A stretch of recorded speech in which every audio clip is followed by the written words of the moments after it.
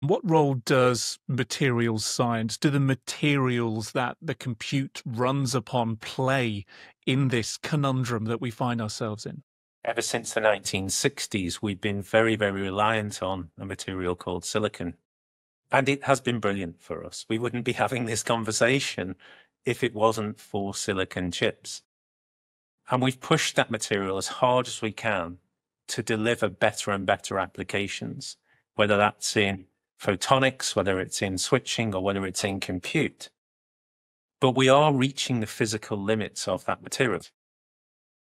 Every material has got its constraints, its performance constraints. And today, we try to create more and more complex devices, particularly chipsets, 3D stacking, heterogeneous integration, to create the performance we want from that material silicon. But we can't change its physical properties at some point it reaches its limitation.